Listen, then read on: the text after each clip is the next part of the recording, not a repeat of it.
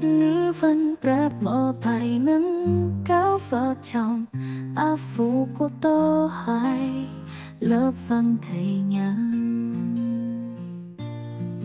Tô Hoài là nhà văn có sở trường về văn xuôi, có số lượng đa phong độ sâu, có thể được xem là bậc nhất Việt Nam là tác giả của hàng trăm đầu sách. Hàng nghìn bài báo với những thể loại phong phú đa dạng khác nhau. Nếu như thuở nhỏ, ai ai cũng có một tập truyện gối đầu giường riêng phiêu. Yêu căng liền với tuổi thơ chúng ta thì vào năm năm, ba năm, tư người đọc lại xôn sao với tập truyện Tây Bắc Bộ Bộ ba tác giải phóng. Và linh hồn là vợ chồng e phụ thành công như ngày hôm nay là do ở tổ Hoài luôn am hiểu về phong tục tập quán cũng như văn hóa nhiều vùng miền khác nhau. Ông luôn cố gắng tìm tòi khám phá trong sáng tạo nghệ thuật.